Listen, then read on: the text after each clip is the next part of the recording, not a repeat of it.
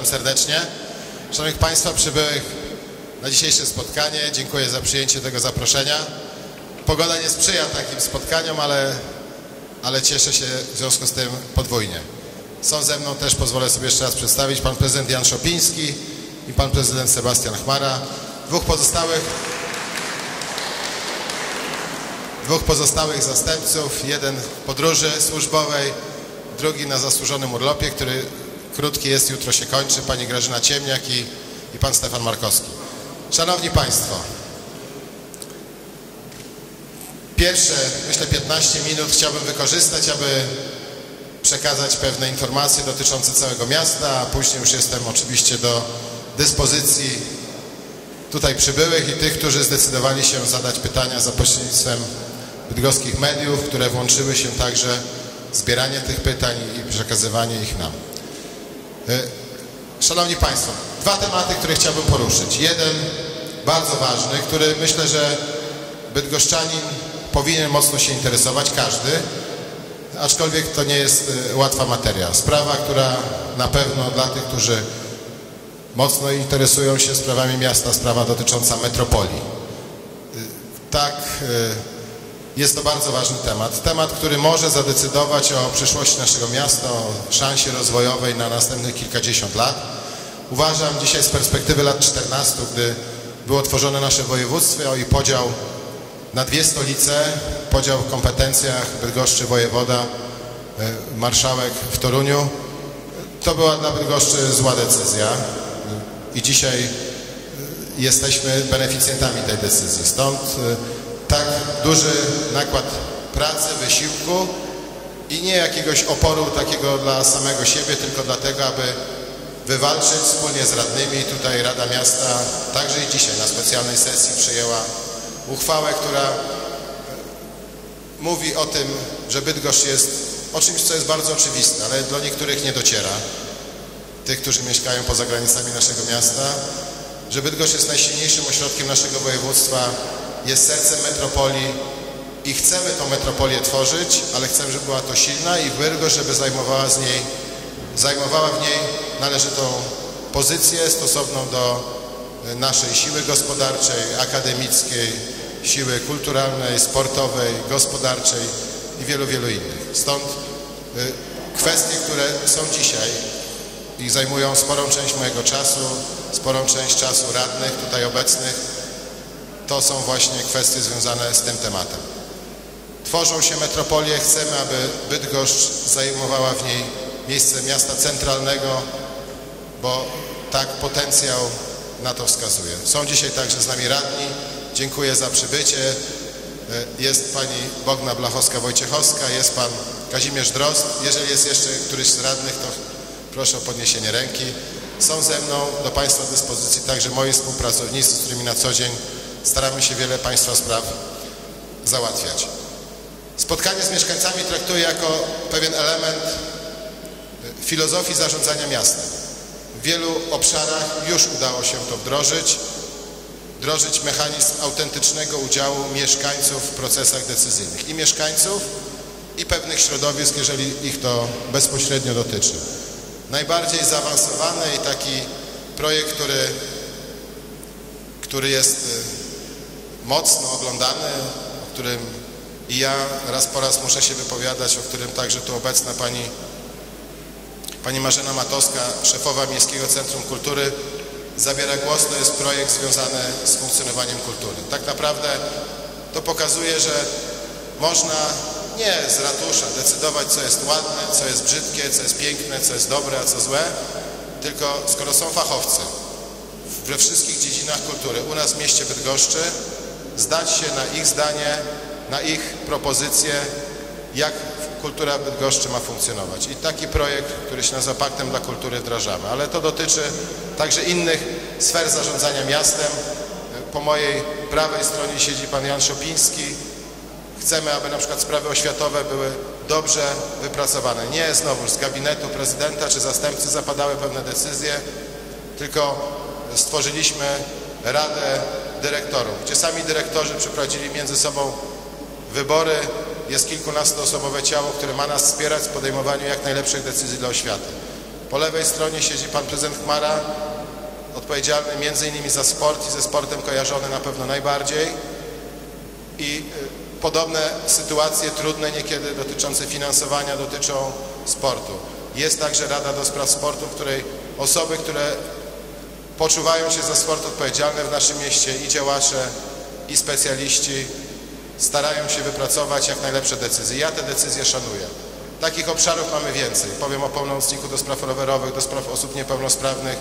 Także, także to są działania, które mają spowodować nie to, że czy prezydent, który może nie mieć dokładnej wiedzy, czy urzędnicy, którzy mnie reprezentują w wielu kwestiach, ale chcemy się kontaktować i budować jak najlepsze decyzje. Są także i były spotkania sali sesyjnej dotyczące ważnych planów zagospodarowania przestrzennego właśnie po to, aby wysłuchać opinii innych i podjąć najlepszą decyzję. To nie znaczy, że oczywiście każda opinia jest uwzględniona, bo tego się nie da, ale każda jest wysłuchana, a ktoś, kto nie będzie z decyzji podjętej zadowolony, na pewno usłyszy, dlaczego, dlaczego tak nie jest. Drugi temat, który bardzo ważny, chciałbym poruszyć, to są finanse miasta. Spodziewam się, że spora część dzisiejszych głosów będzie dotyczyła e, kwestii to trzeba zrobić, to trzeba zrobić, to trzeba zrobić. To jest naturalne, ja Państwa rozumiem i to jest na każdym spotkaniu. Ja sam mieszkam przy drodze, która od 25 lat jest nieutwardzona. E, gdzieś tam kto inny wspomni o chodniku, który jest krzywy, o drogach, które są dziurawe. To wszystko się zgadza. Przy czym dla osób, które w samorządzie bezpośrednio nie funkcjonują, jest to niezrozumiałe, dlaczego prezydent albo zastępcy, albo ktoś inny nie chce czegoś zrobić. Ja mówię otwarcie, może jako pierwszy, ale mówię otwarcie. Do wszystkiego, prawie wszystkiego, potrzebne są pieniądze, których jest bardzo w mieście mało. Gdy rozpoczynałem swoje urzędowanie, sytuacja była bardzo zła. Po prostu płacąc rachunki, tak porównuję na potrzeby podobnych spotkań budżet miasta do budżetu rodziny. Mamy obszary, w których trzeba płacić rachunki. Takim rachunkiem w domu jest prąd, gaz, światło, trzeba się ubrać, coś zjeść. W mieście musimy też zapłacić za prąd, utrzymać szkoły, przedszkola, zapłacić za oświetlenie, wyremontować drogi. Dopiero to, co zostanie, możemy przeznaczyć na inwestycje, czyli to, co tak najbardziej jest oczekiwane.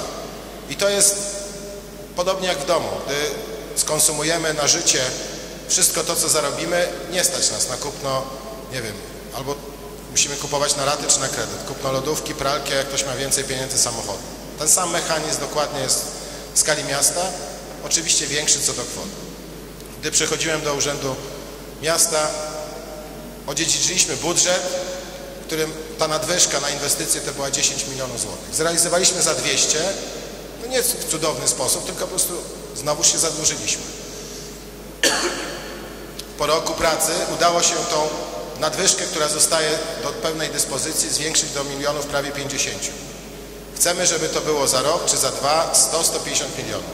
Nasze możliwości inwestycyjne się zwiększą, wtedy wiele z tych próśb, które tutaj dzisiaj na pewno też wysłucham, będzie łatwiej zrealizować, ale tak naprawdę, aby wszystkie prośby i potrzeby w skali miasta, które mamy zdefiniowane, zidentyfikowane, spełnić potrzeba milionów, miliardów, kilkanaście co najmniej. I to jest największa trudność w sprawowaniu przeze mnie funkcji. To jest i tak naprawdę y, jest to sens sprawowania tej funkcji, to jest między innymi ciągłe dokonywanie wyborów. Tym, co jest bardzo ważne, mniej ważne, albo jeszcze bardzo, bardzo ważne.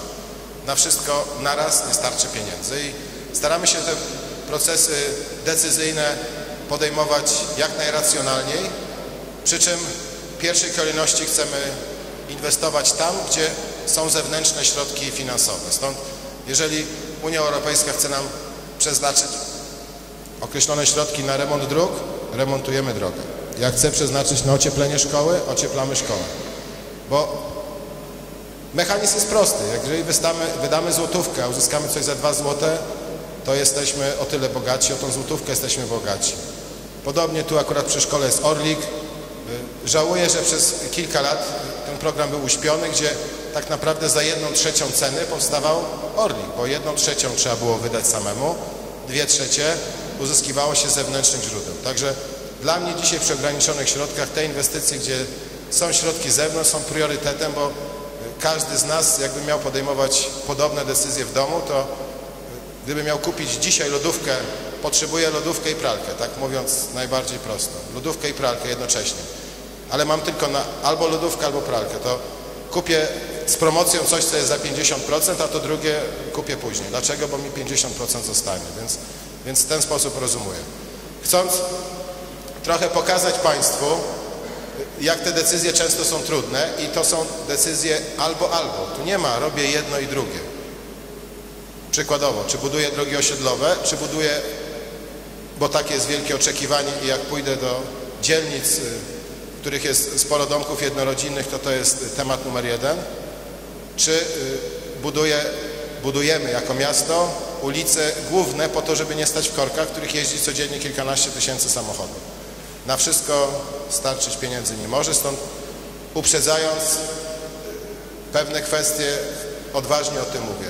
Wszystkie pieniądze, które do miasta trafiają, to są Państwa pieniądze, to są też moje, to są ze spółek, z budżetu państwa.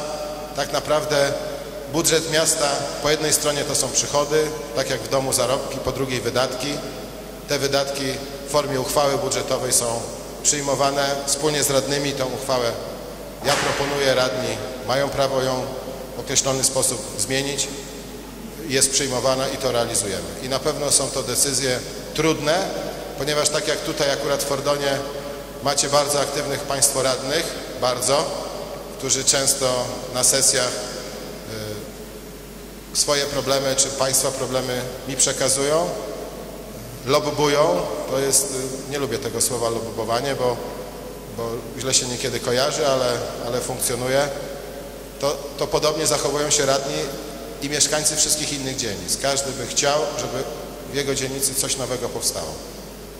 Uczciwie wówczas mówię, że wszystkiego się nie da zrobić. Szanowni Państwo, dlatego, aby trochę pokazać, na czym ta trudność polega, pozwoliłem sobie przygotować taką ankietę, która będzie za chwileczkę rozdana, której właśnie takich wyborów trzeba dokonać. Ta ankieta nie będzie służyła w dużej części, bo będzie pogłębiona później, na dokonywanie wyborów dotyczących kierunku rozwoju miasta, ale, ale chcę, chciałbym, żeby Państwo poczuli się, jak często trudno jest wybierać między tym, co jest potrzebne i tym, co też jest potrzebne.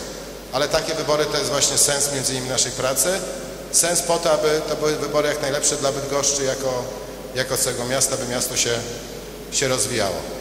Także będziemy wkrótce, to Pan Prezydent Chmara nad tym pracuje, przeprowadzać profesjonalne badania na znacznie większej liczbie naszych mieszkańców co do pewnych oczekiwań, co do tego, czego chcielibyście Państwo, czy na co chcielibyśmy, żeby, żeby, żebyśmy my jako sprawujący władzę, czy radni zwrócili większą uwagę i uznali to jako priorytet dla mieszkańców po to, aby w pierwszej kolejności pewne realizować inwestycje, a inne nieco niestety odłożyć w czasie, gdy, gdy środków będzie więcej. Także bardzo zachęcam do wypełnienia tej ankiety i przy wyjściu jej pozostawienia jest to bardzo prosto, zero-jedynkowa. Wystarczy jeden krzyżyk postawić. Dziękuję bardzo. W tej chwili oddaję się do Państwa dyspozycji.